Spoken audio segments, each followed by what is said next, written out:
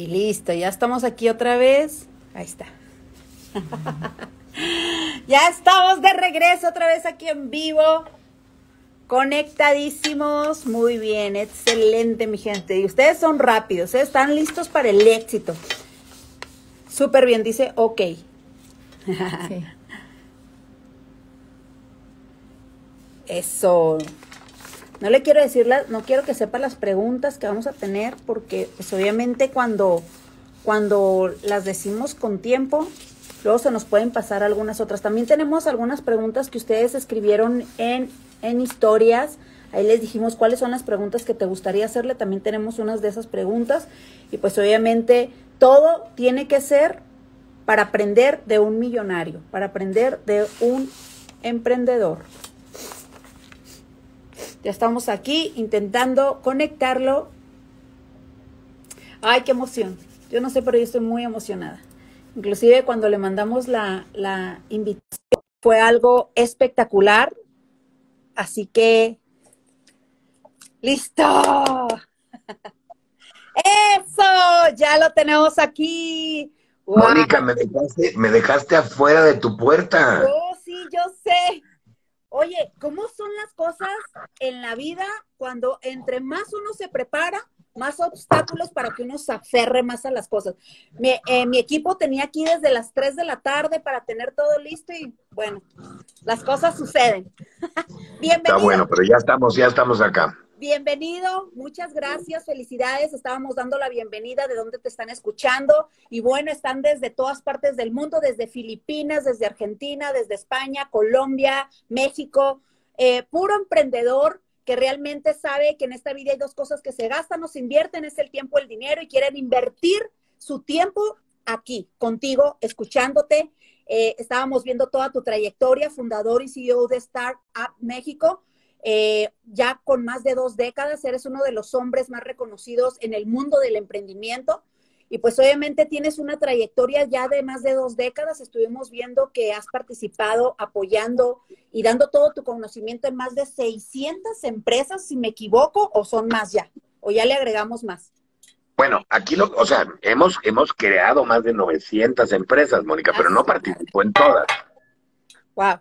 Este, o sea, yo les ayudamos a los chavos a crear la empresa y en algunas he invertido yo, he invertido el fondo que tenemos, pero no en todas.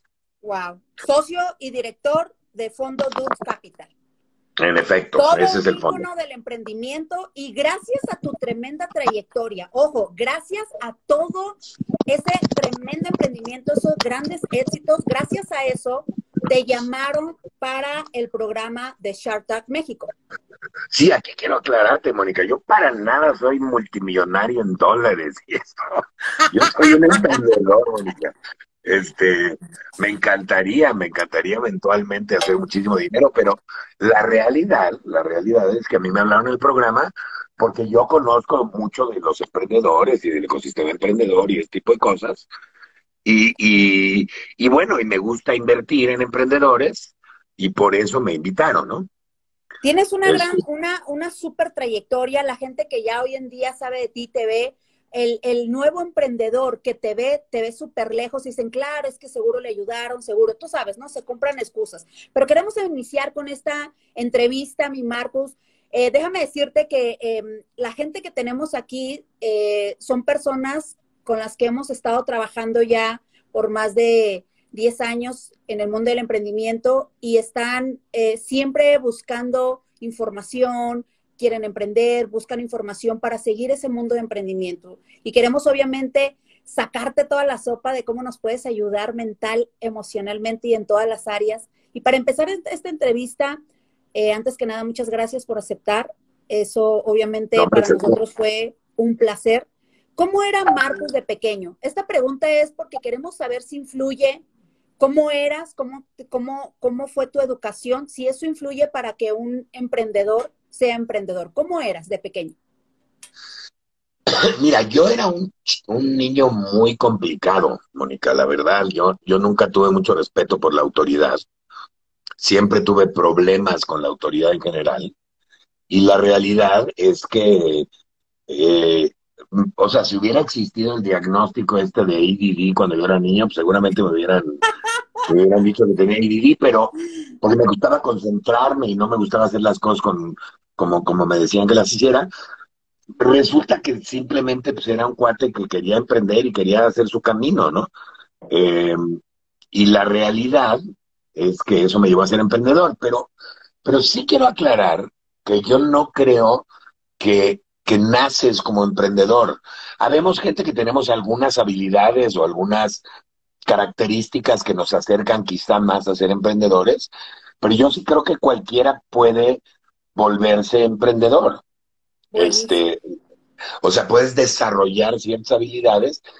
De hecho, te platico que estoy escribiendo un libro sobre las habilidades, no para emprender, pero para tener éxito en tu vida en general. Wow, buenísimo. Este, y creo que cualquiera las puede desarrollar, ¿no?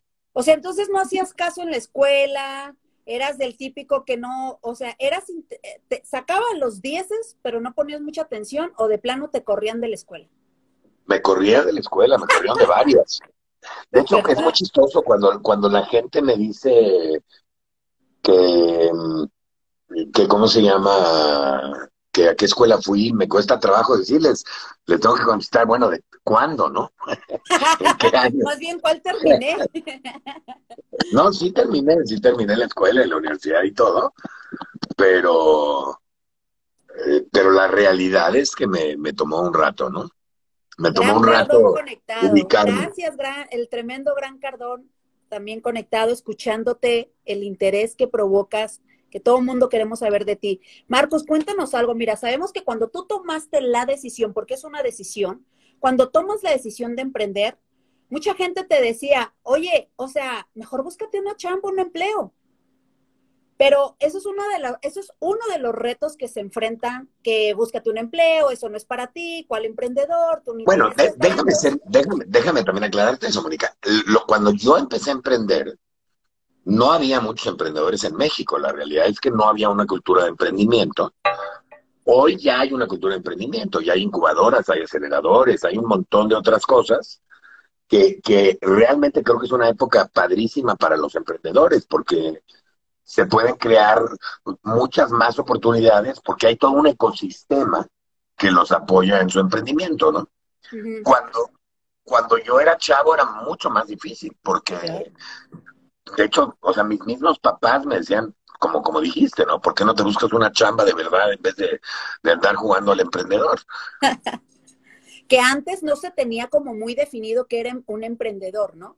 No había esa definición, pero además de, de las palabras de búscate un trabajo, esto, todo lo... ¿Qué otros retos eh, tuviste que enfrentar para poder emprender? Bueno, no habían tantos fondos de inversión. En México, de hecho, no habían fondos de inversión. Tenías que ir fuera de México. Eh, no, no había para nada, te digo, una cultura de emprendimiento. México sigue siendo un país en donde no se tolera el fracaso que, creo que es muy importante, en donde además castigamos el riesgo.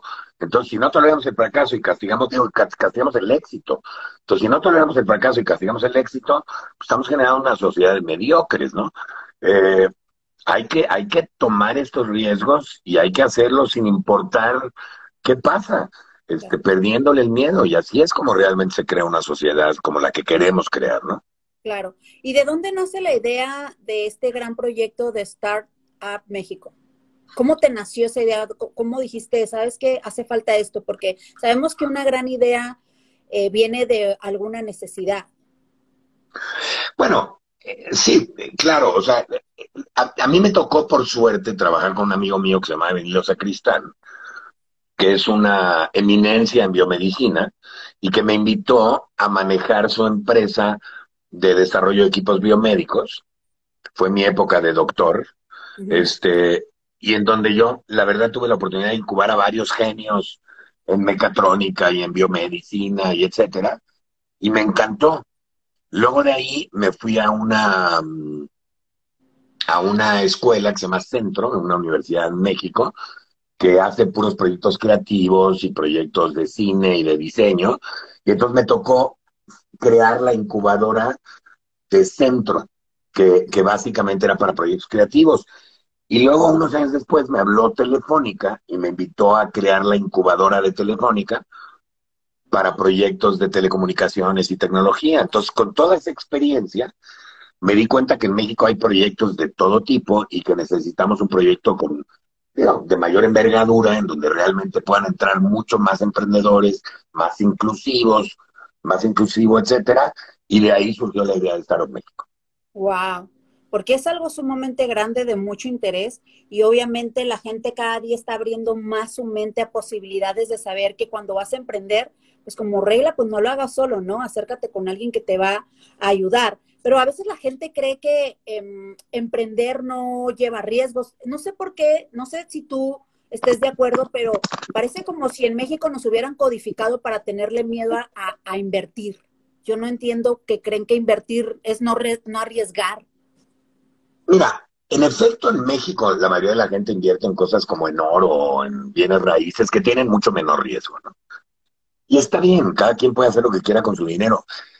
La diferencia es que cuando inviertes en emprendedores, Mónica, inviertes en, primero en los sueños de un par de chavos que quieren hacer su empresa, ¿no? Entonces, no es una inversión egoísta en ese sentido, porque estás realmente ayudando a alguien a hacer una empresa. Además, pues estos chavos van a emplear a otros chavos, eh, estás generando oportunidades de empleo de alto valor agregado que les pagan mejor, estás ayudando a la competitividad del país, al crecimiento económico, etcétera, etcétera. Entonces creo que es una inversión que reditúa más al país eh, y que es un poco menos egoísta.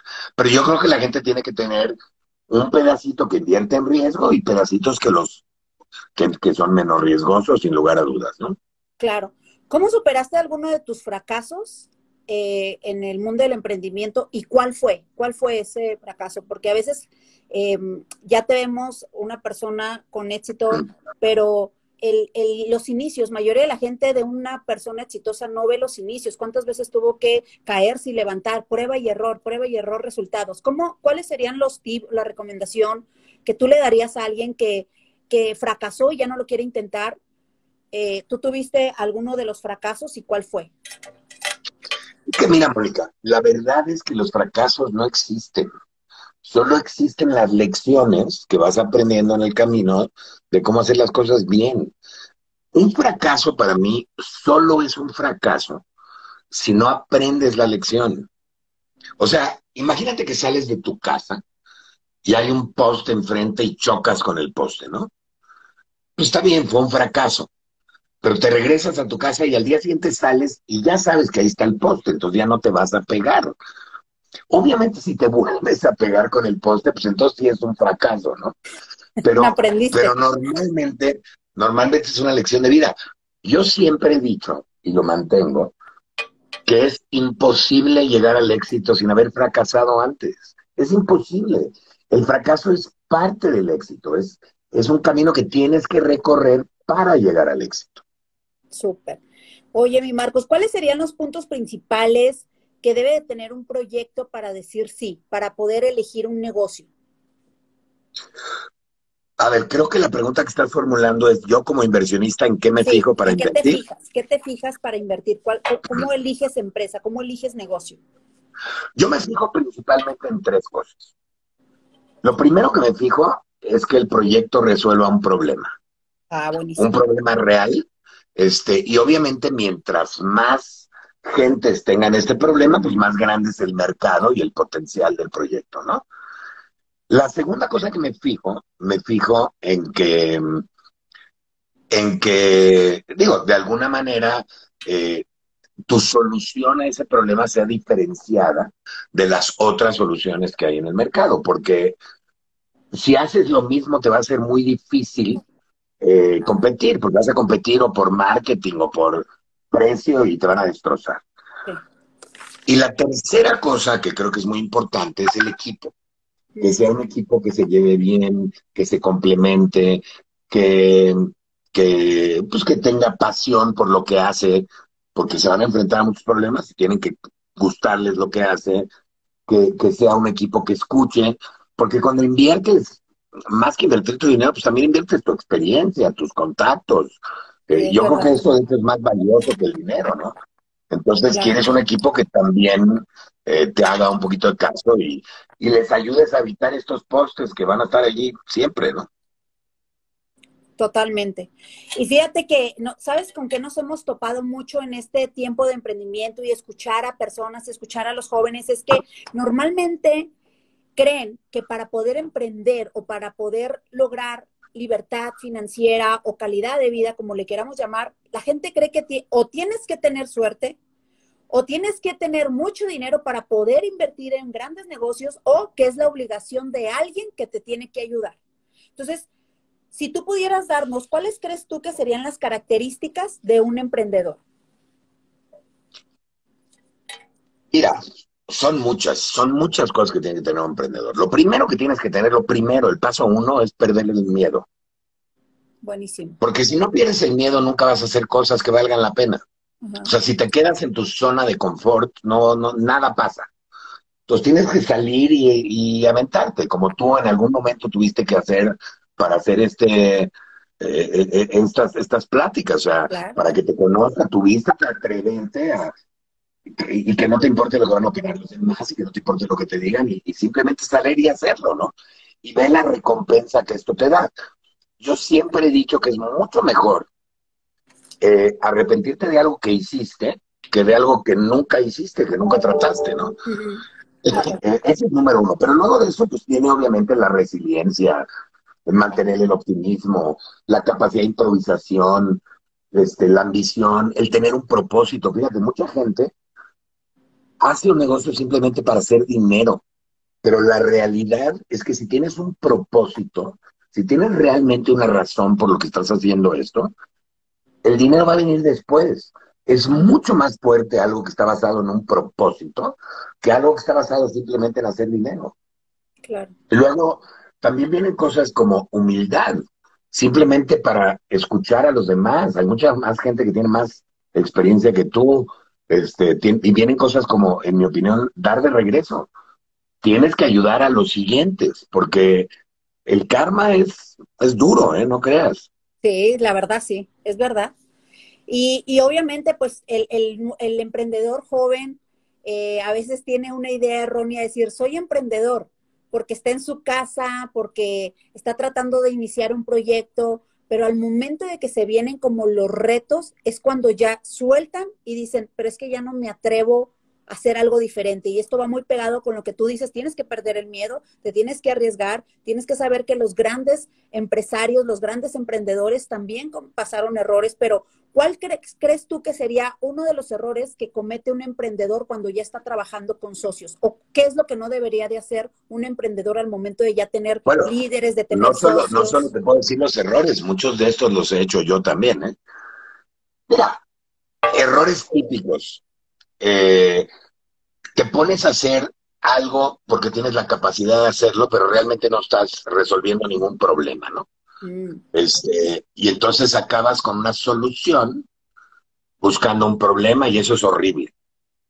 Eh, otro error es no tener los socios correctos, no llevarte bien, no, no poner las cosas en papel. ¿Por qué? Porque eventualmente eh, se van a pelear y cuando se pelean se acaban, ¿no? Sobre todo cuando llega el dinero. otro, exacto, otro error es hacer, como te digo, una cosa que no tenga realmente un propósito más allá del dinero, este, o que no tenga una pasión tuya, que no te encante, que no te apasione, porque las dificultades te garantizo que van a llegar. Entonces es mucho mejor que te enfrentes a una dificultad haciendo algo que te gusta, para que para que realmente puedan sobrepasarla, ¿no? Hay muchos errores típicos. Claro. Pelearse con, los socios, ¿no? Pelearse con los socios no tiene ya lo típico que es en México. ¿eh? Sí. Es algo que realmente no lleva a ningún lado. Eh, eh, decían, no quiebres los puentes por los donde estás pasando porque nunca sabes cuándo lo vas a necesitar para regresar. Claro. Cuidar, las, cuidar las relaciones. Y todo en papel. Claro, claro.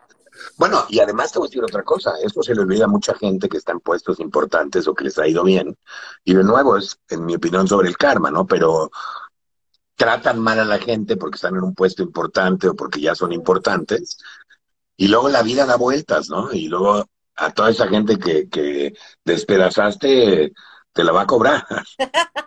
Se va a regresar todo. Oye, Marquitos, mira, fíjate, eh, tú sabes que las redes sociales, yo no sé, pero ya todo el mundo, o sea, las redes es como tu carta de presentación. Ya hoy en día ya casi ya no usan que la tarjetita, ya es, tienes redes. Y bueno, las redes sociales dicen que tú eres obviamente un buen hombre, un buen esposo, eres un hombre exitoso, talentoso, eres, un, eres una persona eh, obviamente con, con, muchas cualidades. Eso, eso es lo que dicen las redes. Y en lo personal, lo que yo pude, en lo personal, lo que yo, en mi experiencia, pues si eres una persona obviamente humilde, con los pies en la tierra, pero con el corazón de servicio. Eso es en lo personal lo que yo, lo que yo vi, lo que yo creo, porque te hicimos la invitación, no la pensaste, dijiste, es para dar valor a emprendedores, va, ahí estoy. Ni siquiera la dudaste. Entonces, para mí es eso, no es eres una persona que tiene los pies en la tierra y el corazón de servicio. Eso es lo que dicen las redes. Pero realmente, ¿cuál es el lado opuesto? Todos tenemos un bueno y un malo. ¿Cuál es el lado negro, el lado oscuro, el lado bochornoso de Marcos? Porque, ¿sabes por qué? Mira, te voy a decir por qué la pregunta. Porque la gente cree que tienes que ser, eh, que tienes que ser una persona casi, casi un modelo a seguir para, para poder emprender. Pero cuéntanos tú si realmente eso es verdad. Hombre, yo soy un amor de persona. No, no es cierto, Mira, te voy a platicar. ¿Por qué le yo tengo que buscar el lado negro, verdad? no, por supuesto, tengo mi lado oscuro. Mira, yo soy una persona muy impaciente. Ajá. Este, eh, eh, la verdad es uno de los problemas más fuertes que tengo. Eh, me, me, y a veces por esta impaciencia me doy cuenta que soy poco empático con otras gentes, ¿no? como tengo esta capacidad de aprendizaje rápido, a veces me desespero que los otros no aprenden a la misma velocidad o no me entienden. No he escuchado eso. ¿Me explicó? Y, y, y, ese es el tipo de cosas que me han causado problemas en la vida. También soy de mecha corta, no creas. Este, soy, soy, soy alguien que, que de repente me echan bronca y me peleo, ¿no? Eh, y entonces eh, estoy tratando de aprender también a, a, ser una mejor persona y a, ya, ya, ¿cómo se llama? A que digamos que mi lado bueno le gane al malo, ¿no? claro, como todo. Y es que, ¿sabes qué? Con, gracias a este tipo de respuestas le quitamos muchas excusas a la gente. Es que él porque es perfecto, es que él porque es... Pero realmente la gente cuando, cuando se siente vulnerable, decir, oye, yo también soy así, entonces yo también puedo serlo. A veces te ven a las personas tan inalcanzables que cuando escuchan este tipo de, de palabras dicen, ¿sabes qué? Entonces yo también lo puedo hacer. Yo también tengo posibilidades. Por eso te hacía esa pregunta y pues obviamente queremos saber dónde aprendiste eh, en tus momentos difíciles. ¿Qué es lo que hace Marcos? ¿Qué lees? ¿A dónde vas? ¿A quién escuchas? ¿Pides consejos? ¿Quiénes son tus mentores? No, bueno, mira, yo he tenido muchos mentores, ¿no? Para empezar, en el lado de negocios, era mi abuelo. Mi abuelo fue un gran emprendedor este, él llegó a México sin un peso, era electricista. Él puso, de hecho, las luces en el periférico, en la Ciudad de México, la, la electricidad. Y este, y bueno, cuando acabó su vida era una persona ya bien acomodada, tenía un par de fábricas, algunos otros negocios, y era una persona increíblemente exigente y crítica. Y como yo soy el, el, de ese lado soy el nieto más grande, pues a mí me tocó toda su exigencia y toda su crítica, y aprendí a superarla y eso me ayudó mucho, ¿no? Y fíjate que tuve la suerte que del otro lado está mi papá, que mi papá es una persona increíblemente humilde y modesta. Y, es una persona, por ejemplo, mi papá tiene una frase que me encanta que dice que la persona más rica no es el que más tiene, sino el que menos necesita, ¿no? Y es una frase que me ha marcado mucho. Eh, y la realidad es que la mezcla de los dos, pues es, es, más o menos lo que traigo adentro, ¿no? Por un lado traigo un poco el no ser tan egocéntrico, pero por otro lado tengo esa ambición de emprendedor, ¿no? Claro. Esas personas fueron tus mentores. ¿Y qué haces tú cuando las cosas se ponen difíciles, cuando hay, llega la frustración o, o cuando te desesperas? ¿A dónde acudes? ¿A dónde corres? ¿Qué lees? ¿Qué, con quién hablas, cuáles son tus como tu ritual cuando estás en momentos difíciles. Mira, hay muchas, yo tengo socios en varias empresas que son especialistas en diferentes cosas, por supuesto mm. puedo acudir con ellos. Este, puedo acudir eh, con amigos míos también que son especialistas o que se han vuelto también mentores míos en algunas cosas. es que la verdad, Mónica, es depende de la situación. De todo mundo puedes aprender, de todo mundo. Hay, todo mundo ha tenido dificultades y las ha pasado, todo mundo ha tenido aprendizajes diferentes y ve la vida de una manera diferente. Y la verdad es que todo el mundo te puede enseñar muchas cosas. Entonces, el chiste es llevarte bien con mucha gente, eh, tener un buen grupo de, de, amigos, gente que confía en ti, pero en la que tú también confías. Y tener, si tienes una buena red de esto, pues puedes acercarte con mucha gente y, preguntarles y pedirles ayuda y, y, que no te miedo también pedir ayuda. Claro. Pero, pero siempre estando dispuesto tú también a ayudar a los demás, ¿no? Porque si no, no es justo. Sí, cuando tú te, cuando te viene alguna situación, porque obviamente dentro del mundo del empresario, el emprendimiento, pues no siempre las cosas salen bien, pero cuando te viene una situación donde no está en tus manos, pero te sientes frustrado, se vale echar madre, se vale gritar, se vale pelear, se vale, ¿qué sí se vale y qué no se vale? No, pues todo se vale. Pero mira, yo te voy a decir una cosa. Hay otra frase que me encantó desde hace muchos años y la sigo al pie de la letra. Si no lo puedes resolver, ¿para qué te preocupas? y si lo puedes resolver, ¿para qué te preocupas? No, val, no desperdicies tu tiempo preocupándote. Pasa lo siguiente. Muchas veces me preguntan en este tipo de entrevistas, y te lo juro que me lo hacen muy seguido, ¿no? ¿Qué cambiaría de mi vida? Este, ¿qué, qué, qué haría diferente? Nada, no cambiaría nada. Pero principalmente porque en primer lugar no se puede cambiar, ¿no? O sea, no sé qué puedo regresar. Si alguna vez inventa una máquina en donde realmente puedes regresar al pasado y lo puedes cambiar, pues perfecto. Entonces me subo y veo que cambio. Pero segundo y mucho más importante, porque siempre hay que estar viendo hacia enfrente, hacia adelante. No importa dónde estés, puede ser el peor día de tu vida o estar pasándotela muy mal, pero, pero la realidad es que es hacia dónde vas lo que importa, no dónde estás. Entonces siempre fíjate hacia adelante, hacia dónde vas, porque si no te vas a pegar en ese puesto otra vez, ¿no? Claro, claro. Oye, Marcos, fíjate que eh, hay algo que siempre nos preguntan, y yo creo que eso a ti también te lo preguntan. Yo vengo de una educación tradicional. A mí me dijeron, Mónica, estudia, saca buenas calificaciones, consíguete un buen empleo, gradúate, este, jubílate y luego ya que el gobierno te mantenga, ¿no? Entonces, ahí va Mónica, hizo eso, pero déjame contarte que en el 2008 se vino una recesión muy fuerte. Mi esposo y yo perdemos nuestro empleo. Cuando perdí mi empleo, perdí todo, perdí casa, carro, perdimos todo, porque yo no estaba preparada con un plan B, con una segunda fuente de ingresos. Entonces, aquí viene esta pregunta, que siempre nos dicen, ¿Tú qué opinas del sistema educativo? Es una pregunta sabrosa y con, mucha, con mucho tema. ¿Qué opinas del sistema educativo tú? En general, el de México. ¿Qué crees que le hace falta? ¿Qué crees que le hace falta al sistema educativo? Le hace falta muchas cosas, Mónica. ¿Para qué seguimos estudiando dónde nació y cuándo nació Benito Juárez? Y eso lo traen los chavos en el teléfono. La información ya la tenemos. Me encantó eso. Esa es la realidad, es una tontería. Cuando, cuando yo era chiquito, quizá te tocó a ti también, porque eres mucho más joven que yo, pero, pero teníamos que ir a, la, a las tienditas y comprar las estampitas donde atrás venía la... o sea, teníamos que investigar, pero ahorita ya la investigación es una tontería, ¿no? La realidad es que lo que nos deberían de enseñar, te voy a decir que nos deberían de enseñar, en mi opinión. Deberían de fomentar la creatividad, especialmente en México, que es un país que somos realmente creativos.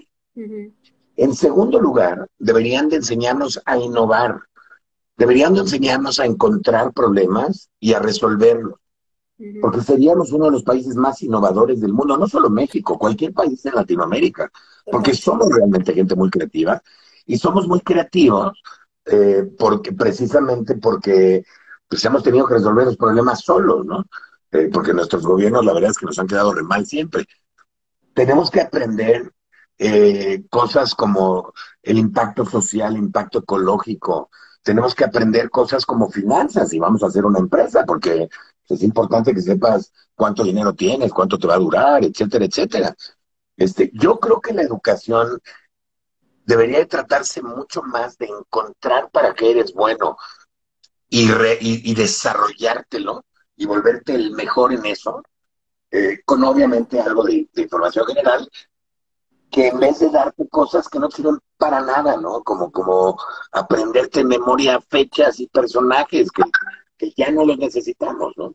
Totalmente. Y eso me pasó a mí y, y, también a mi esposo. Y él, él estudió en Estados Unidos, yo en México. Cuando pasamos esa crisis, estuvimos dos años en depresión, porque en la escuela no te preparan para un estancamiento financiero, no te preparan para un estancamiento emocional. Dos años tirados en depresión sin nada hasta que tomamos la decisión. Por eso hablamos de que ser emprendedor es tomar una decisión. Nos levantamos, empezamos a correr y fue más el miedo de seguir viviendo en escasez, sin tener para comer, dormir en un colchón y gracias a eso, a eso que hoy en día digo, qué bueno que perdí mi empleo, si no seguiría ahí trabajando 10 horas para alguien más. Pero gracias a eso, perdón. No, no, te decía, te decía, perdón que te interrumpa, Mónica, pero es que creo que debes de estar, creo que debemos de enseñar habilidades. Totalmente. Habilidades. Eso es lo que tenemos que enseñar. Tenemos que enseñarle a la gente cómo hacer cosas cómo cocinar, cómo plantar un árbol, cómo, eh, o sea, hay tantas cosas que los chavos luego no aprenden, cómo perder miedos, cómo controlarte a ti mismo, cómo, cómo, cómo sentirte eh, bien contigo mismo, cómo valorarte también, porque eso es bien importante. Este, es imposible que, que seas una buena persona con los demás si no te aceptas a ti mismo ni siquiera, ¿no? O sea, todo ese tipo de cosas es lo que nos hace falta. Con una generación que le enseñemos todo eso, yo creo que se acaban el 80% de los problemas del mundo. Así es. Son características que no enseñan en la escuela. a lo que tú hablabas acerca del fracaso, no es un fracaso enseñar que no es un fracaso, que es una habilidad también para tú volver a emprender. Nosotros, gracias a esas enseñanzas de la vida, esos golpes de la vida, nos pudimos levantar y pudimos construir arriba de 30 fuentes de ingreso, pero realmente dices, ¿cómo le explico yo eso a esta persona si en la escuela no te lo dicen? dicen, pero es que aquí me dijeron esto. Y entonces es como un choque entre el emprendedor y el sistema educativo. Por eso te hacía la pregunta, porque entre más gente escuche que el, el emprendedor necesita diferentes características a las que te enseñan en la escuela. Entonces, con esto quería hacerte esta pregunta. Eh, ¿Cuáles serían los, los, consejos tuyos, como tú, obviamente como experto, que tú le darías eh, a las personas que tienen una idea, pero no, no saben cómo desarrollarla? Para mí, yo siento que todo lo podemos monetizar, pero ¿cuáles serían los, los consejos que tú le podrías dar a un emprendedor que quiere iniciar? Bueno, o sea, además de los consejos que ya les di, que es encontrar un problema, encontrar una solución diferenciada, pues es armar un buen equipo. O sea, por ejemplo, puede ser que el emprendedor sea un buen diseñador. Necesitas probablemente un ingeniero y probablemente alguien de negocios en tu equipo, ¿no? Puede ser que seas un gran ingeniero, pues necesitas alguien de marketing, alguien de negocios. O sea, es bueno rodearte de gente que complemente tu conocimiento. No trates de irte solo por el simple hecho de no enfrentar los problemas solo. A veces el, simple hecho de platicarlo con alguien surgen nuevas ideas, ¿no? Eh, eso es lo primero que yo haría. Y, luego, pues constantemente estate aprendiendo, búscate buenos mentores, acércate a incubadoras, aceleradoras, a fondos. Eh, pregúntale a la gente, valida lo que estás haciendo con la gente a la que crees que, que se lo vas a poder vender porque además mucha gente dice, no, pero es que ¿qué pasa si no lo aceptan o si no les gusta? Mejor, porque entonces aprendes por qué no. Y eso hace que seas mucho mejor. O sea, de nuevo, no existen los fracasos. Olvídense del fracaso. Es un paso necesario para llegar al éxito. Buenísimo. Oye, Marcos, y en tu experiencia, ¿cómo presentas tú, cómo presentarías tú un proyecto, una idea? ¿Qué sería como esas características o, o eso pequeño que tiene que tener para que llame la atención una idea o un proyecto al momento de presentar tu negocio? ¿Cómo lo, qué, es lo que necesitan? ¿En qué te fijas tú cuando te presentan un, un proyecto? Es que la mitad es obviamente la información que te dan el proyecto y eso habla de la capacidad de sintetizar eh, y, de, y, de, decirte la información eh, importante, además de la capacidad de contar una historia. Ah, eso me este, encanta. que es Me esencial. encanta eso. Y, y- y tercero, pues también en cómo, cómo ellos mismos se, se proyectan, ¿no? Se proyectan como gente exitosa, apasionada, o se proyectan como un cuate que no te va a caer bien y que nunca le meterías dinero, ¿no?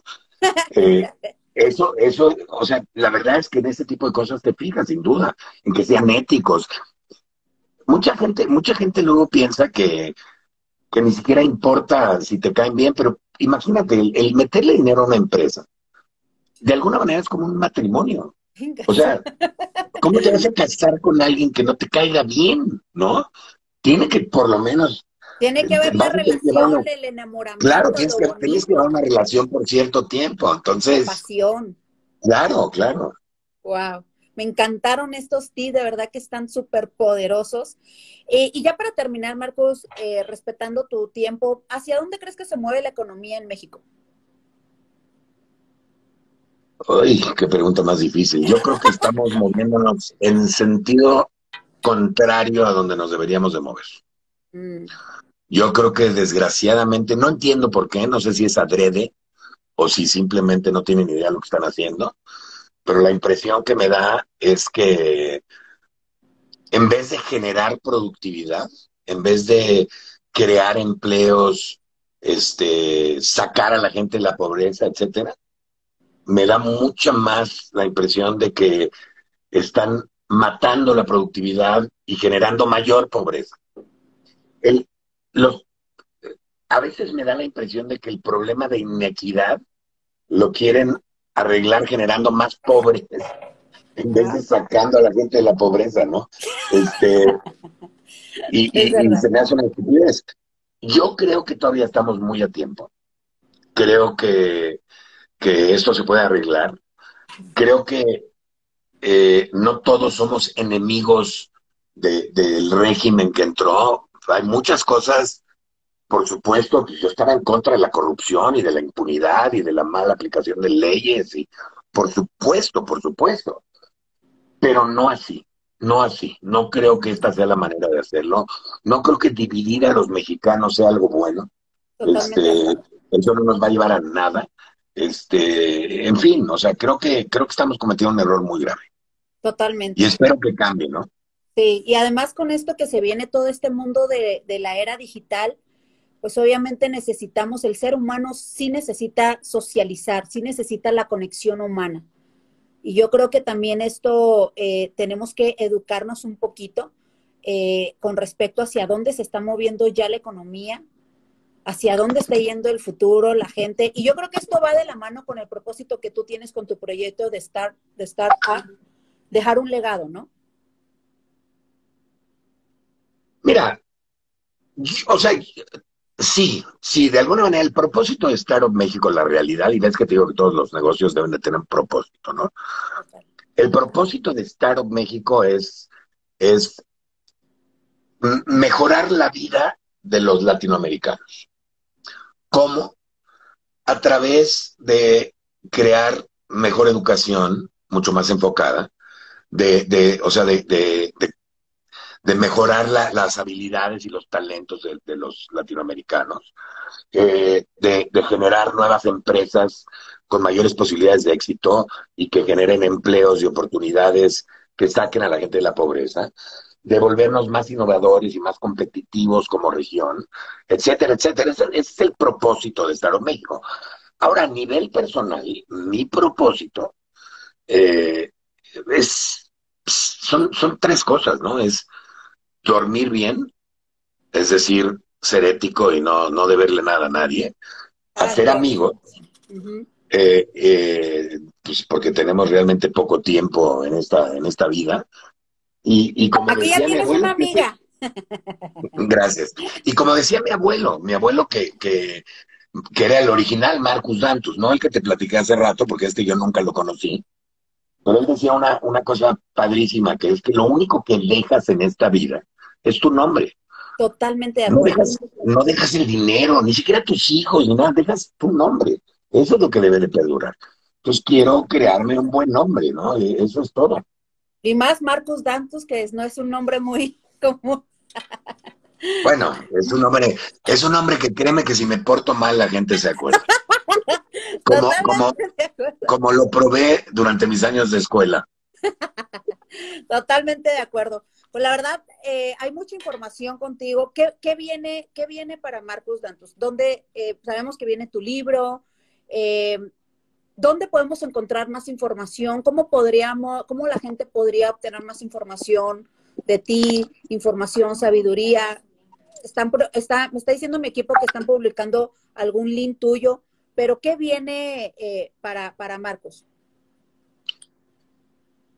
Mira, nosotros, o sea, como Startup México, nosotros seguimos creciendo. Eh, ahorita acabamos de anunciar un campus en Saltillo. Eh, vamos a, entrar, espero, a Costa Rica muy pronto. Traemos una idea de hacer algo en Miami que ojalá fructifique, porque la verdad es una, es una muy buena idea, inclusive para llevar muchas empresas hacia Miami de toda Latinoamérica. Este, y bueno, queremos seguir creciendo a nivel geográfico y a nivel servicios, ¿no? Estamos sacando nuevos programas para ver cómo podemos seguir ayudando a, todo esto que pues, al final de cuentas es el propósito de la empresa. ¿no? A nivel Marcus Dantus, no sé, la verdad, a, pesar de todo lo que te estoy diciendo, estoy en un momento en donde por primera vez estoy un poquito asustado de la situación de nuestro país. Por primera vez en mi vida estoy inclusive considerando ver eh, a dónde realmente me tendría que ir, porque si esta división continúa y si los problemas sociales se acrecentan, yo creo que va a ser una cosa eh, realmente compleja, ¿no? Sí, para los empresarios la cosa no está, no, no está tan sencilla que en México. Entonces, en vez de apoyar, están haciendo que huyan, ¿no? Que se vayan. Sí, tienes toda la razón. Ahora, en respuesta a tu otra pregunta de cómo contactarme, es muy fácil. Primero, nadie en el mundo se llama Marcus Dantus, así que si, si ven Marcus Dantus en una red social, soy yo. Este, en realidad, eh, Twitter, Twitter es, es probablemente mi red social preferida o LinkedIn, porque las demás me llegan tantos mensajes que a veces me es complejo realmente contestar todos. Eh, tratamos, pero no está tan fácil. Eh, y bueno, pues ahí está México por varios lugares, así que encantado de, de, platicar con ustedes. Trato de verdad de contestarle a todos, ¿no? Wow. Tienes muchos corazoncitos, muchas, muchas palabras de muchísimo. Me da la impresión de que los corazoncitos son para ti, Mónica, pero bueno.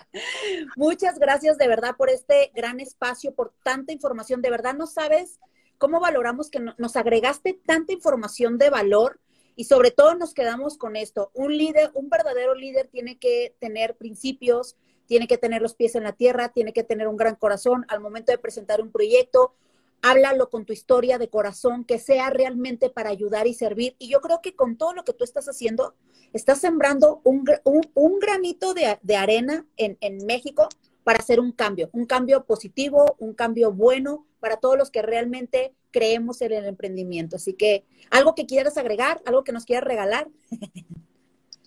Mira, este, atrévanse, atrévanse, y no me refiero a emprender, atrévanse a todo les gusta cantar, canten en público, les gusta bailar, bailen en público, les gusta, hagan lo que quieran. La verdad es que conforme hay muchos chavos que no nos van a creer o que no me van a creer porque, porque pues todavía no tienen esta experiencia, pero llega un momento en tu vida en que te das cuenta que puedes hacer lo que quieras, lo que sea. Es cuestión de practicar y de atreverte. Este, entonces, háganlo lo que quieran. Eh, pero no más atrévanse.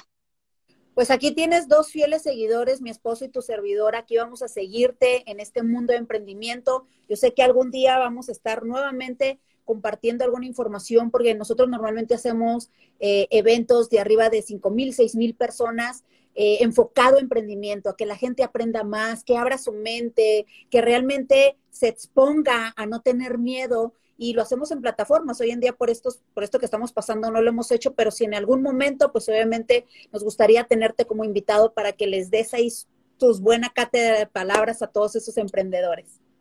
Con todo gusto.